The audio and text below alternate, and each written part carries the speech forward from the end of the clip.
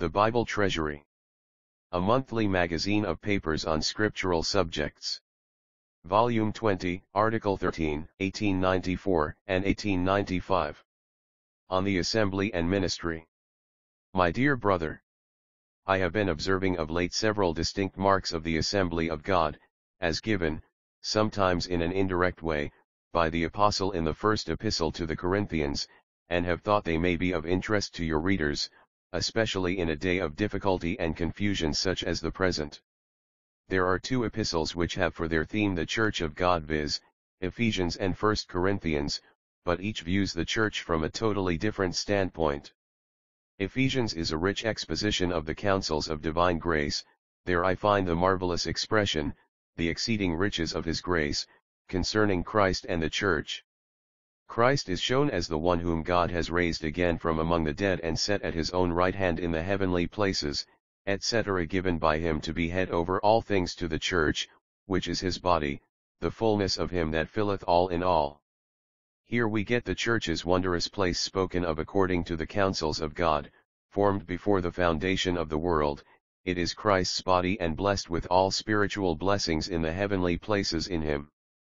This is altogether God's planning and working, man has no place here, save, as believing in, and associated with, Christ, being the recipient of all.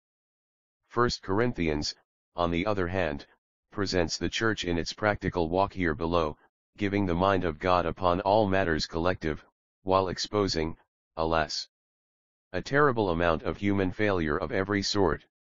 Ephesians directs our eyes to the heaven, and we are shown our wondrous place before God, even the Father, in Christ, while Corinthians directs our eyes downwards, and we get human doings and, too often, sin.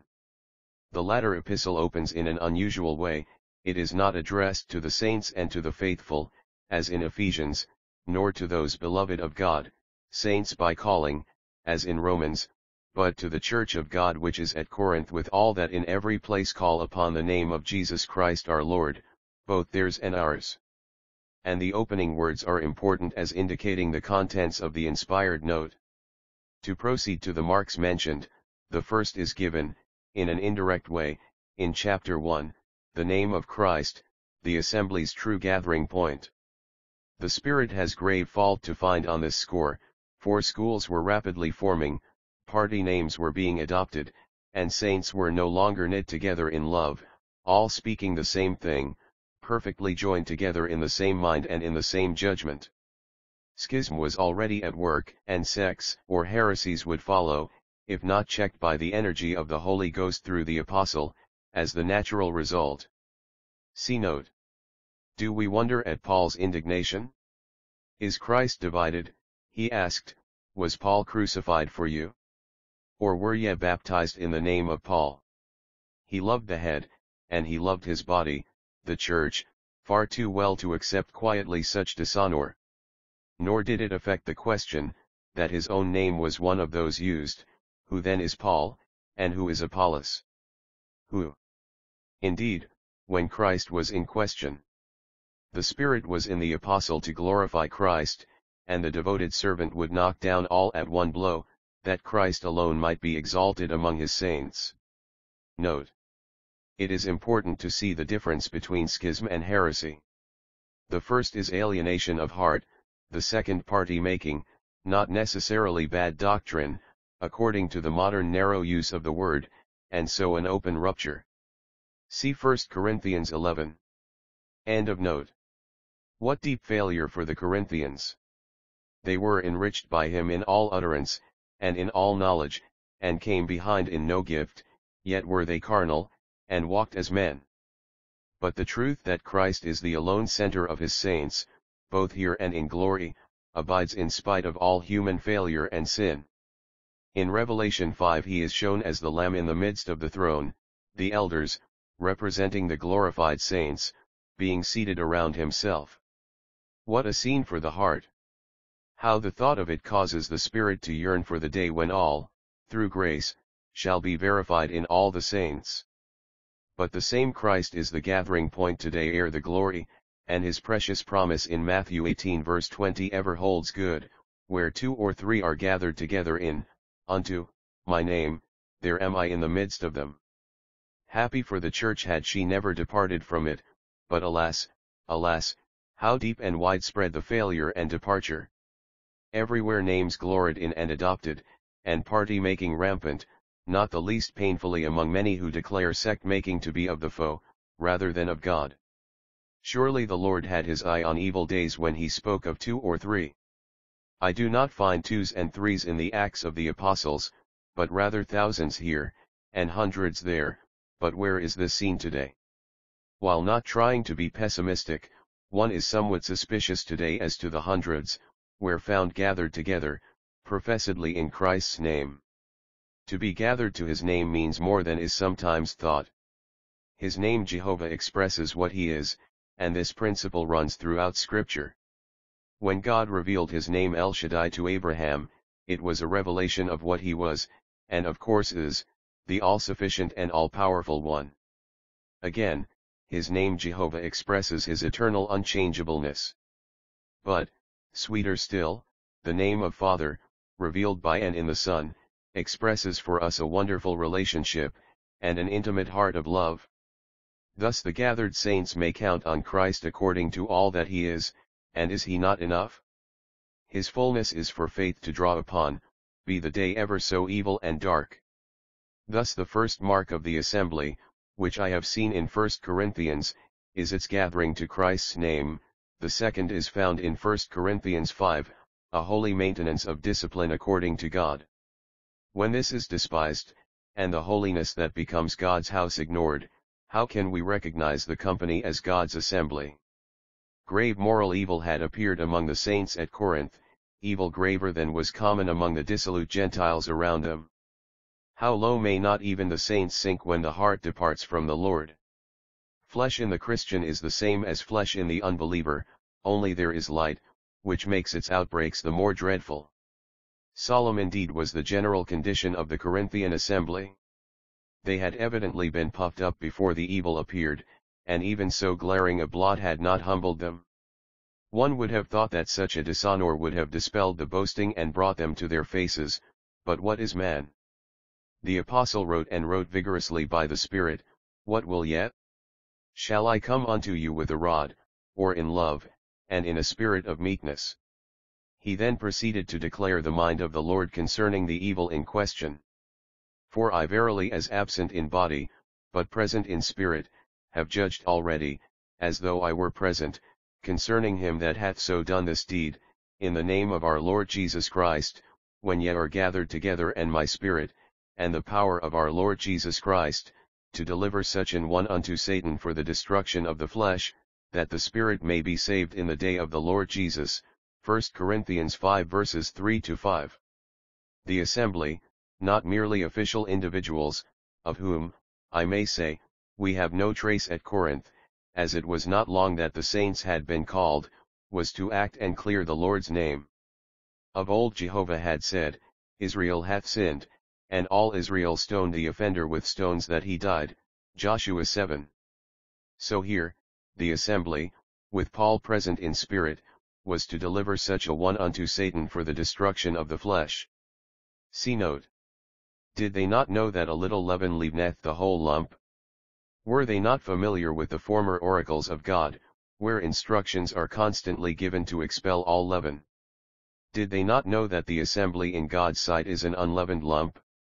How inconsistent, nay, how dishonoring to him who is holy and true, to allow the unclean leaven to remain unjudged. They were to judge those within, leaving those without to God, and were, therefore, to put away from among themselves that wicked person. And this is ever incumbent on the gathered saints. The assembly, according to God's thought, is the pillar and ground of the truth, 1 Timothy 3 verse 15, and its character is quite belied, when it becomes indifferent to holiness. But in the absence of apostolic power, the two or three cannot go beyond the putting away in verse 13, the handing over to Satan calling for authority which we have not, in the present broken and ruined condition of things, compare 1 Timothy 1 verse 20. The assumption is out of place, and an offense to God, it is ours to walk with lowliness before him, and use what we have for his glory. Note. Discipline, according to scripture, is always exercised with a view to ultimate blessing thus we read here, that the spirit may be saved in the day of the Lord Jesus. The same principle is found in 1 Corinthians 11 verse 32. So gracious is our God. End of note. I refrain at this point, from speaking of the assembly's attitude towards false doctrine, it is a matter for discipline most assuredly, where Christ has his true place, it will, however, come before us later. A due maintenance of discipline is, therefore, an undoubted mark of God's assembly. I now proceed to the subject of ministry as dealt with by the Apostle, chiefly in 1 Corinthians 9, and somewhat in chapter 4. Some were evidently venturing to put the Apostle on his trial as to his service, pronouncing as to the genuineness of his call to the office, judging his motives, and making various insinuations concerning him. The blessed man of God, established in God's thoughts, knew well how to deal with all such assumption and folly. He stood on his own direct responsibility to the Lord and wishes them to know it, let a man so account of us as of the ministers of Christ, and stewards of the mysteries of God, 1 Corinthians 4 verse 1. He was in no wise their servant, save in a sense for Jesus' sake, 2 Corinthians 4 verse 5, and he repudiated their right to inquire into, or criticize him in, his path of service for Christ. Ministry is in Christ's hands, not in any sense in the hands of official men, or of the church. The source of all ministry is given in Ephesians 4, the ascended Christ. He has given gifts, apostles, prophets, evangelists, pastors, and teachers, the church has no place, save as receiving what he gives according to the grace of his heart, and the fullness that resides in him for all its needs. How lamentably has this been lost sight of in Christendom. To the Church's serious hurt, and graver still, to the Lord's dishonor. Officialism is to be observed, on the one hand, men assuming to be successors of the apostles with power to ordain, religious republicanism on the other, the Church claiming the right to control itself, and to control ministry. Which is the farthest from the divine pattern? Surely in both systems, the true idea is entirely lost. The truth is, that the ascended head gives and fits, while the assembly is but the receiver of all. The apostle asserts his right to support from the saints, not from the Gentiles, 3 John 7, though not a salary, and draws analogies from vineyard, flock, oxen, and temple, yet glories in the fact that he had not used this right, nor had he written such things that it should be so done unto him, for it was better for him to die than that any man should make his glorying void. 1 Corinthians 9 verses 12 and 15. Noble and self-sacrificing servant. He had drunk deeply into his master's spirit and felt it to be far more blessed to give than to receive, Acts 20. What has his professed successors to say to this? Refer to W. W. Fereday on Ministry 1894 page 63. Letter on the Assembly. I will now turn to another and important mark of God's assembly given in 1 Corinthians 10 and 1 Corinthians 11 viz., a due regard for the Lord's table and supper. Upon these points the Corinthians had doubtless been fully instructed by the Apostle, during the year and six months of his ministry among them, Acts 18 verse 11, nor does he bring them forward as new, but says he had received of the Lord that which also he delivered, past tense, unto them. Yet how little did they know the power of the truth, and how feeble, nay, how stagnant, their jealousy for the honor of Christ. A mere knowledge of the letter of the truth will not at all suffice to preserve the soul, the truth must be held in communion with God in the power of the Holy Ghost, or the soul is but little profited, and the Lord but little glorified in his saints. It will be observed that the Apostle presents two different ideas in the two chapters referred to, first, the Lord's table, and afterwards, the Lord's supper, various aspects of the same thing, I know, but the distinction should be kept clearly before our minds. In chapter 10 the great thought before the mind of the Spirit is fellowship, which will explain the fact of the cup being placed before the loaf, for apart from the precious blood of Christ, of which the cup so expressively speaks, how could there be any fellowship of saints? And further, the apostle adds a truth concerning the loaf which is not found in chapter 11, viz., that it sets forth the one body, of which all the saints on earth form a part, and of which Christ in glory is the head.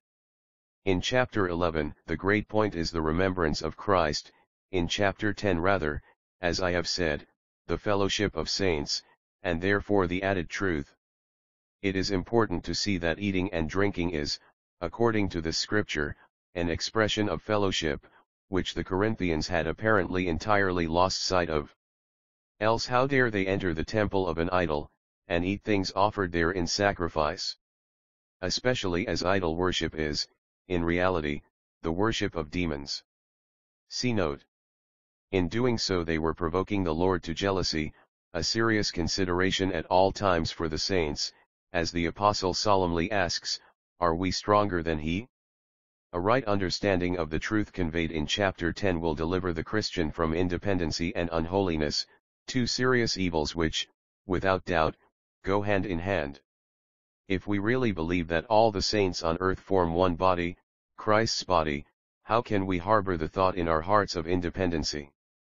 And if we really understand that eating and drinking means fellowship, how can we be indifferent as to the persons with whom we sit down? The truth, evenly held in the power of the Spirit, and bowed to in all its parts, will preserve the soul from these and the many other snares laid by the ever-watchful foe for our feet. Note.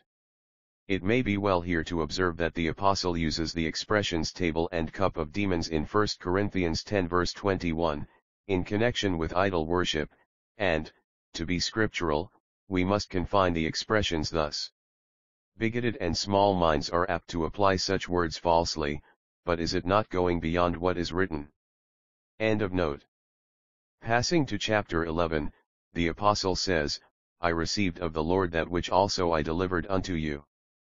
Paul was not one of the privileged few who sat with the Lord in the upper chamber on that memorable night, but the head of the church had not left him to glean the particulars of the precious feast from the twelve, but chose, in divine wisdom, to make it a subject of special revelation to him.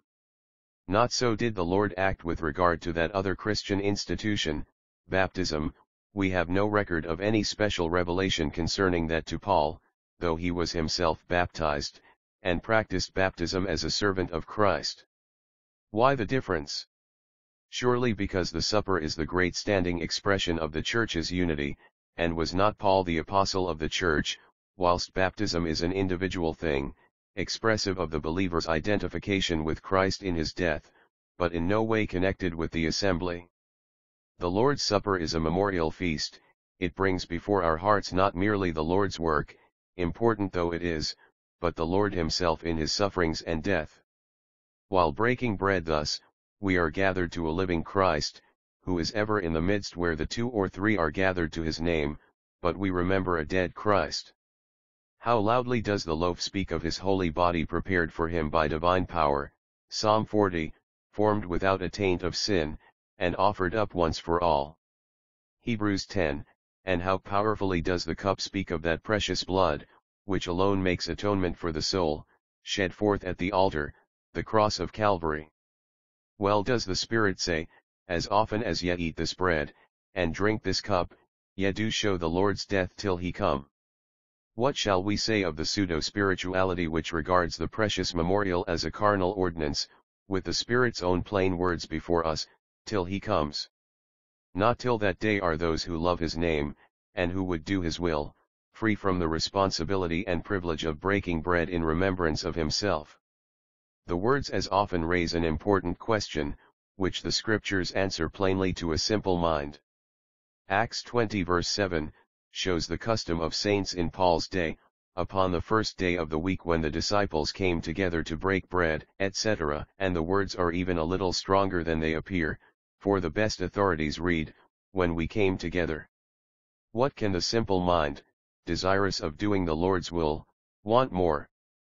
Such words are a plain intimation that saints in the Church's early days, met on the first day of the week to remember their Lord in his appointed way. And surely this is not too often where the heart's affections are towards Christ? Where is the love of the one who finds it irksome to show the Lord's death so frequently? And what day more suitable than that which bears witness to his resurrection, the victorious one, alive forevermore? There is an urgent need for care in handling such precious memorials, as the apostle shows in 1 Corinthians 11 verses 27 to 29. The Corinthians had not so far departed from the truth as to welcome unworthy persons, that was reserved for the Christendom of a later day, but there was a danger of themselves eating in a very unworthy way, and this the apostle solemnly points out, Whosoever shall eat this bread, and drink this cup of the Lord unworthily, shall be guilty of the body and blood of the Lord. The saints to whom these words were written were eating and drinking with unexercised hearts, in I utter forgetfulness of what they were doing. It is for saints to examine themselves in the light of the Lord's presence, before going up to his table to remember him in the breaking of bread. Not that unworthy eating on the part of saints involves damnation, as the authorized version of verse 29 wrongly states, but such indifference to the Lord's honor brings down the hand of the Lord in judgment. If we are forgetful of what is due to him, he never can be and will vindicate himself and clear his name. To be near to God is very blessed, but also very solemn, for judgment must begin at the house of God, 1 Peter 4, the world's judgment being still delayed in the long-suffering grace of God. The truth of this was experienced by the lax Corinthian saints, for many among them were weak and sickly, and many slept. Had they judged themselves, they would not have been judged, for it gives the heart of the Lord no pleasure to deal thus with his own, but holiness must be maintained. Yet even here grace is seen, for when we are judged, we are chastened of the Lord, that we should not be condemned with the world. When the world is dealt with for its iniquity and rejection of Christ, the believer is, through grace, exempt, his judgment having been borne once for all by the Blessed One, but he is chastened now by a holy yet loving hand if he walks not fruitfully to the glory of Christ. May the Lord help us to value our privileges, and give to us an ever-deepening sense of what is due to him, in a cold and indifferent day. Letter on the Assembly and Ministry The next mark of God's assembly, observable in the first epistle to the Corinthians, is the presence and sovereign action of the Holy Spirit, 1 Corinthians 12, 1 Corinthians 14. It is important to see that the Spirit of God dwells in the saints individually, and among the saints collectively. Without going outside the present epistle, the first truth is expressed in 1 Corinthians 6 verse 19, and the second in 1 Corinthians 3 verses 16 and 17. To the saints individually the apostle could say, Know ye not that your body is the temple of the Holy Ghost which is in you, which ye have of God, and to the saints in their collective character, Know ye not that ye are the temple of God, and that the Spirit of God dwelleth in you? This is an immense truth, too often overlooked in Christendom, to the damage of souls, and, above all, to the Lord's dishonor. Let us consider briefly 1 Corinthians 12 verse 4, etc. The Apostle tells us there are diversities of gifts, but the same Spirit. Here we find one Spirit operating, not exclusively through one vessel, but through many, for the manifestation of the Spirit is given to every man to profit withal. Of what value are the various gifts, if there be not liberty, when the saints are gathered, for their exercise? That such liberty obtained in the Corinthian assembly is clear from the perusal of 1 Corinthians 14, which chapter gives us the practical working out of the truth expressed in chapter 12. The apostle asks in verse 23, If therefore the whole church be come together into one place, and all speak with tongues, and there come in those that are unlearned, or unbelievers, will they not say that ye are mad? How could such questions or exhortations be addressed in many companies in Christendom today? If all were wrong in speaking, whether with tongues or otherwise, why did not the apostle embrace the opportunity of saying so? Yet he does not, but he rather lays down a golden rule for all utterances in the assembly, let all things be done unto edifying. Nor is the epistle to the Corinthians alone with regard to this truth, for similar teaching is found in 1 Thessalonians 5 verses 19 and 22. The assembly is there urged not to quench the Spirit, but to allow him his due place among the saints, prophesyings were not to be despised, but all was to be tested, the good only to be held fast, and every form of evil abstain from. To pass thence to the apostle of the circumcision, we find that each is to minister according to the measure of gift received, as good stewards of the manifold grace of God, all who speak being charged to speak as the oracles of God, that God in all things may be glorified through Jesus Christ, 1 Peter 4 verses 10 and 11. And the writer to the twelve tribes expresses no other principle when he says, My brethren, become not many teachers, knowing that we shall receive greater judgment, James 3 verse 1. Clearly then liberty obtained in the assemblies of God in apostolic days, for the Spirit of God to lead whomsoever he would.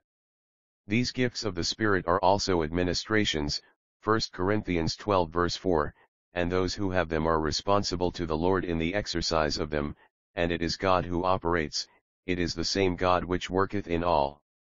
Again this diversity of gifts is in connection with the truth of the one body. By one Spirit are all the saints baptized into one body, whether Jews or Gentiles, whether bond or free, and are all, therefore, members of Christ and members one of another, mutually dependent. As in the human body, every member should be in healthy exercise, and none kept in a state of disuse, so in the body of Christ, there is that which every joint supplies, and what the Spirit has given to each is needed for the blessing and edification of the whole. How seriously are saints the losers who ignore all this, and who look to a humanly appointed vessel for all their nourishment and edification. The Spirit of God will not be thus restricted. Though he is very compassionate over the saints, he is sovereign and divides to each severally as he will but such a truth must be held in power, or all is vain. Wholesome and humbling is it for us to remember not only that is the divine spirit present when saints are gathered together, but that the flesh is present also, ever ready and ever corrupt. How it becomes us to be found in the presence of our God with examined and judged hearts, having no confidence in the flesh, but patiently waiting upon the ever-present guide, who will never fail or disappoint us. Whenever flesh does manifest itself, either in haste or worse, it is not because of a rotten system, as an unfriendly critic once said, but because of the unfaithfulness of man as a steward of the precious things of God. And the remedy is not the suppression of liberty, and the appointment of a human leader, which is the carnal way of disposing of difficulty and trial, but humiliation before God that the truth, so well known in the letter, should be so little known in power. And where God's order is systematically set aside and God's Spirit displaced by unbelief in its many forms, how can we discern God's assembly?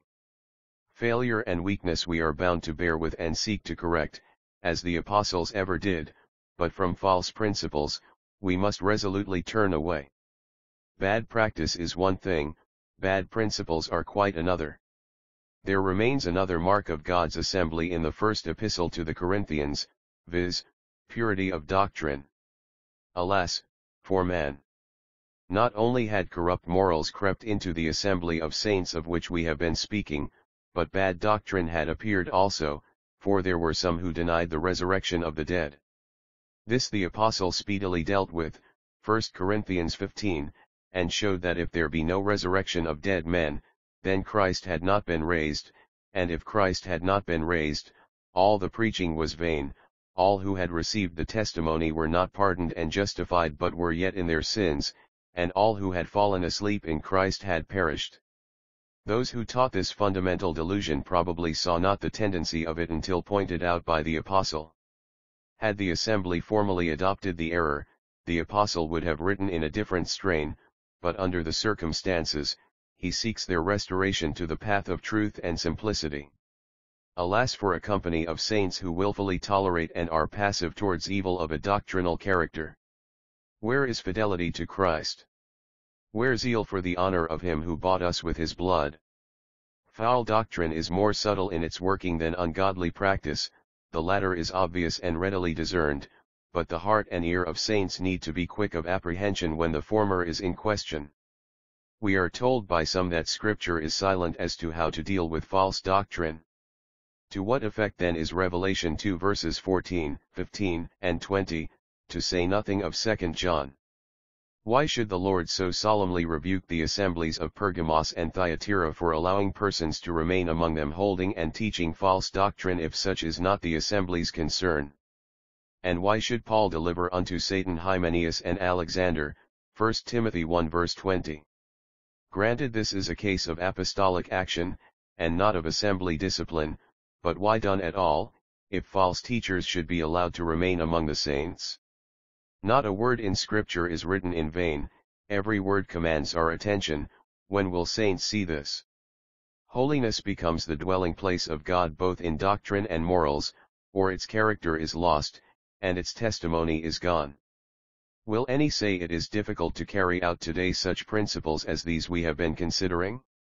It is difficult, yet not impossible, and the highest favors are promised to the loyal and true, if but two or three. Humility of mind, brokenness of spirit, and true dependence draw forth all grace and blessing from the ever-faithful unchanging Lord upon the throne. We may fail deeply, but he abides the same until the end. Is the writer J. N. Darby.